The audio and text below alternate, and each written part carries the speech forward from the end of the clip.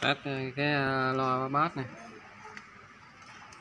150W con bự ha. Con tới 75 luôn. Từ. Lo là chiên ờ, nghiệp cho nó kéo luôn. Âm thanh cực tốt luôn. Thì ở đây mình ờ, đang test nhanh. Sử dụng mạch uh, EQ này đây mình test tiếng bass cho anh em nghe. Đây cá trên thùng nữa nè ha đúng hai lò của nó luôn ha đúng hai lò của nó đây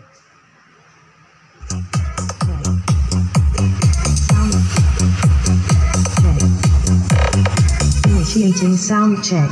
Preparing and initiating bass test. Bass. Bass test.